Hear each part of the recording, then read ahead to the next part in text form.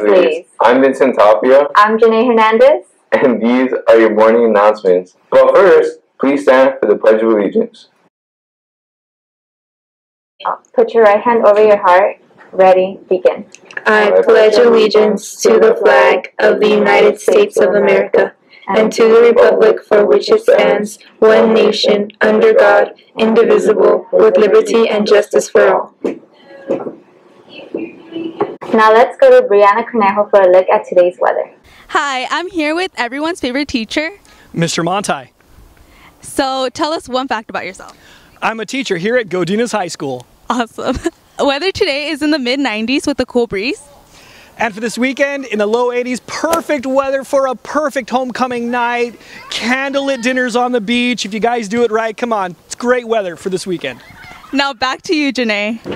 Thanks, Brianna. Hey, Bruce, don't be haunted by regret. Come in the Grizzly Lounge Halloween costume contest. Your costume will be judged based on quality, creativity, and effort on October 31st at 3.30 p.m. outside the Teen Center. Check out our Instagram at JFHS Lounge for rules and information. Homecoming tickets. Homecoming tickets are now $25 with ASB card and 35 without until today, October 25th. Seniors, the ACT test is this Saturday. If you are signed up, make sure you print your admission ticket and take your school ID. Now that's it for today, Grizzlies. Have a great weekend and don't forget to go to the homecoming game. Yeah, go. Now long I say Carla. Have a great weekend! And don't forget to go to the homecoming Bye, game. Grizzlies. Do you know what Pink Ribbon Club is? Yes. Do you know what Pink Ribbon Club is? No. Do you know what Pink Ribbon Club is? Yes. Do you know what Pink Ribbon Club is? Nah. Pink Ribbon Club isn't one of the most well known clubs.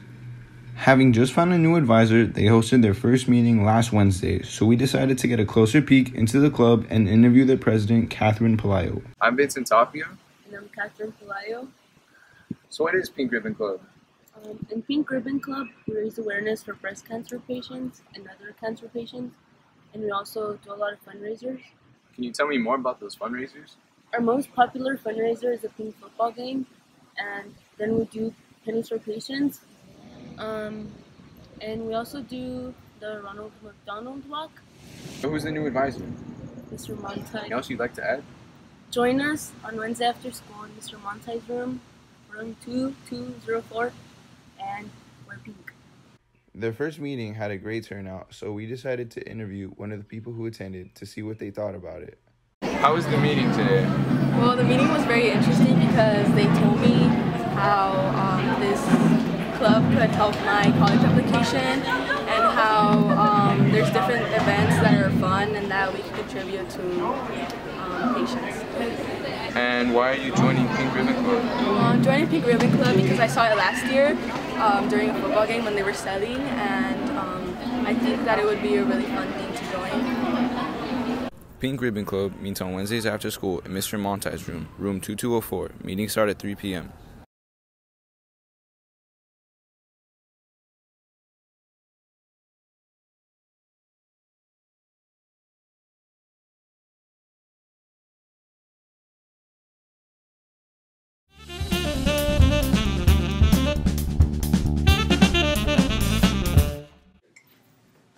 I'm Emily Lopez. And I'm Krista Diaz.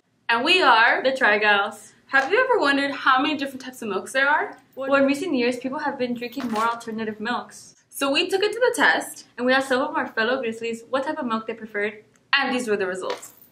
What type of milk do you drink? I drink 2%.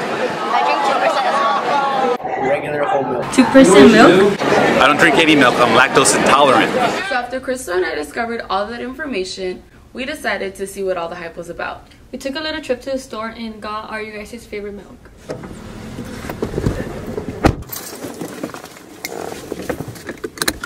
Let's get some milk.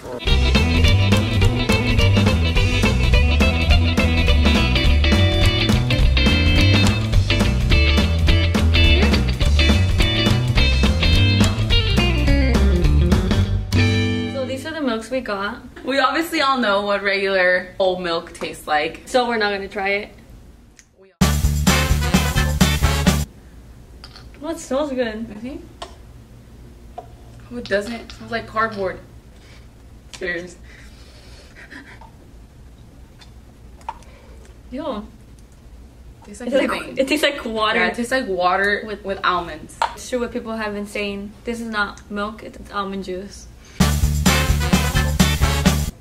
Oh, this one smells really good. It does. Tastes like water again. Mm-mm. So my verdict is not so delicious.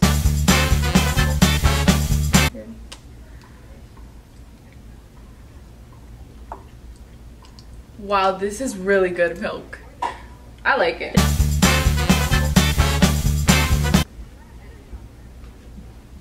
It tastes like it smells like oats. It smells like dog food, not gonna lie. It tastes like really un it tastes like unflavored oatmeal. That's what it tastes like.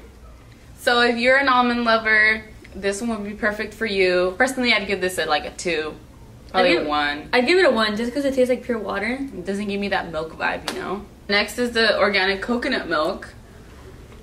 I'd give this a two, maybe a one. I'd give it a two. Next we have oat milk. Oh, I'd give this a four or five. It wasn't my favorite. I think I'd give it a four. Last but not least, the winner. The soy milk by Silk. Um, it actually has a like a strong flavor compared to the rest of these. I'd rate it a eight. An eight, yeah, eight, nine. This is the move. Um, based on all the taste testing, I think we're gonna stick with the normal milk. So for all my lactose intolerant people, soy milk is the move. If you guys enjoyed watching our video, Comment down any more suggestions for our next Try Guy edition video. from the Grizzly News Network, this is Emily Lopez And Crystal Diaz. signing out. Bye. Bye.